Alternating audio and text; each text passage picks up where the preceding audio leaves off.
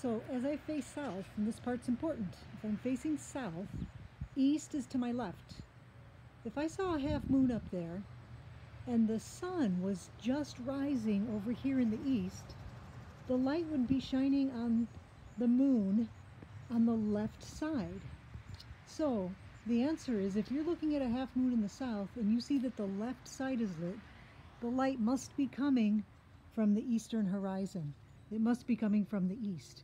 And that means it's sunrise if you see the moon lit up on the left.